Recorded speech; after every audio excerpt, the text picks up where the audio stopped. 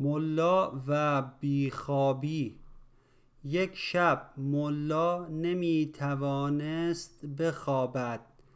به همین علت از خانه خارج شد و در کوچه ها قدم می‌زد.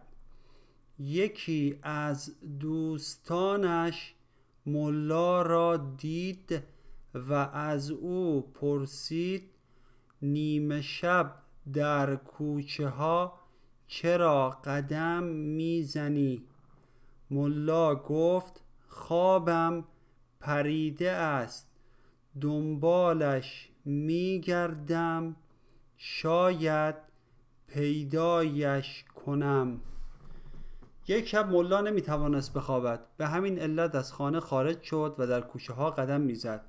یکی از دوستانش ملا را دید و از او پرسید نیمه شب در کوچه ها چرا قدم می‌زنی؟ ملا گفت خوابم پریده است. دنبالش میگردم شاید پیدایش کنم.